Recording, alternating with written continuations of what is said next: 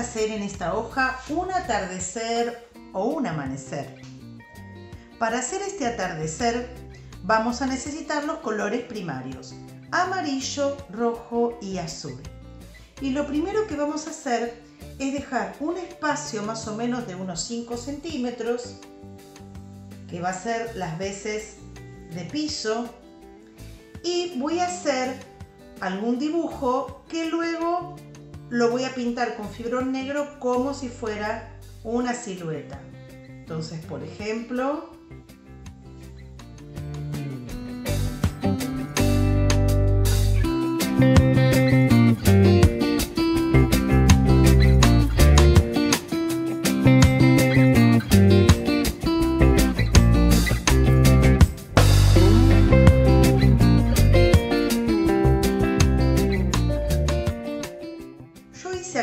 árboles y los voy a tratar de dibujar bien fuerte porque ahora voy a pintar sobre esto, pero ya tengo pensado qué es lo que quiero hacer.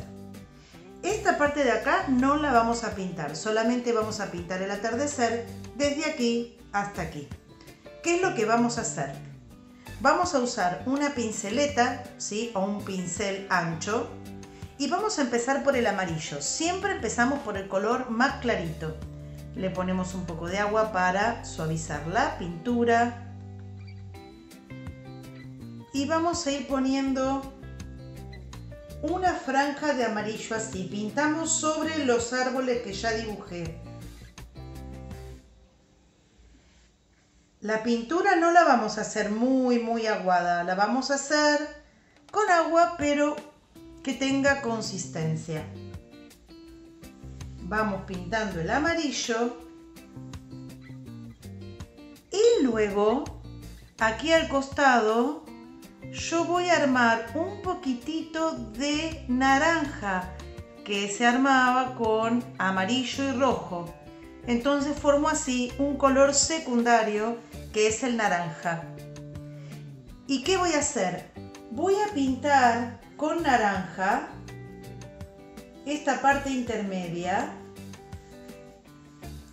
y la voy a ir mezclando muy suavemente, como si diera pinceladas muy suaves con el amarillo.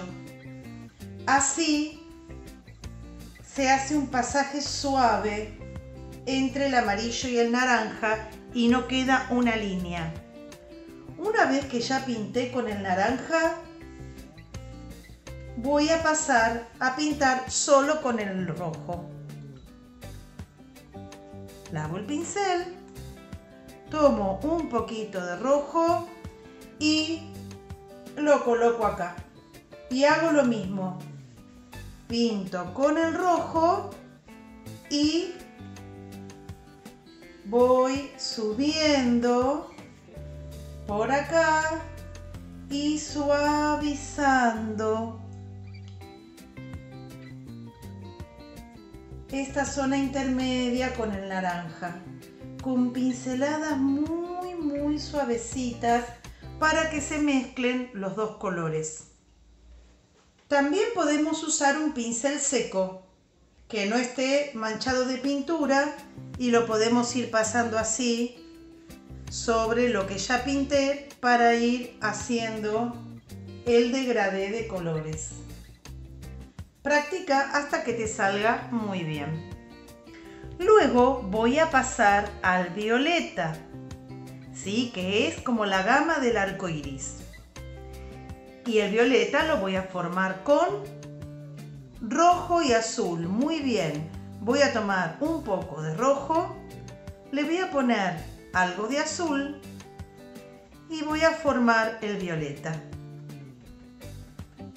y voy a hacer lo mismo que hice antes. Voy a ir pasando violeta y, pintando muy suavecito, muy suave, cerca del rojo, casi sin tocar la hoja, para que se pueda mezclar el color.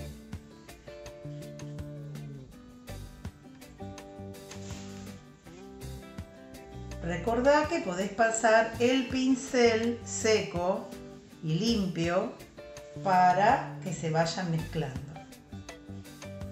Esto lo tenés que hacer con la pintura fresca, no podés hacerlo con la pintura seca porque no vas a poder hacer el degradé de color. Y por último, el azul.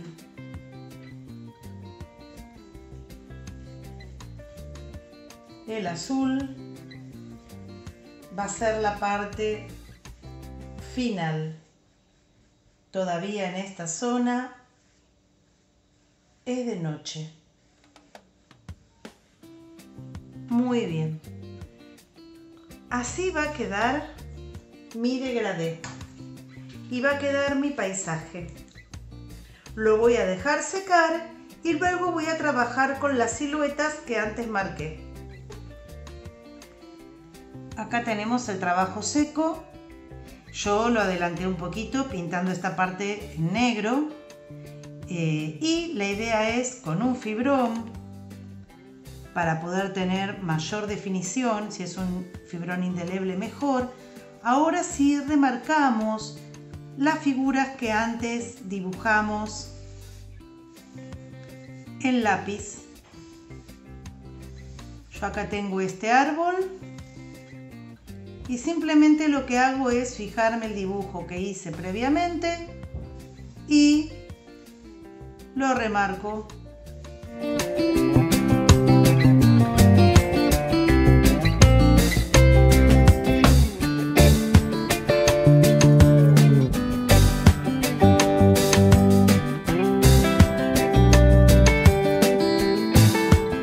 ya está completado los otros árboles. Podés agregarle algunos detalles.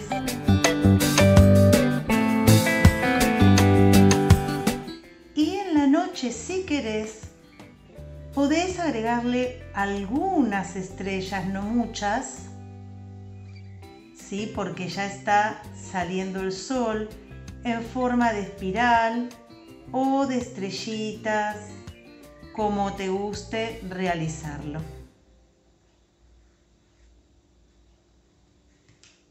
Este trabajo también lo podés realizar en forma vertical, dejando el mismo espacio abajo y pintando hacia arriba. Este es un modelo en forma horizontal. Espero que te haya encantado y que te salga pipi cucú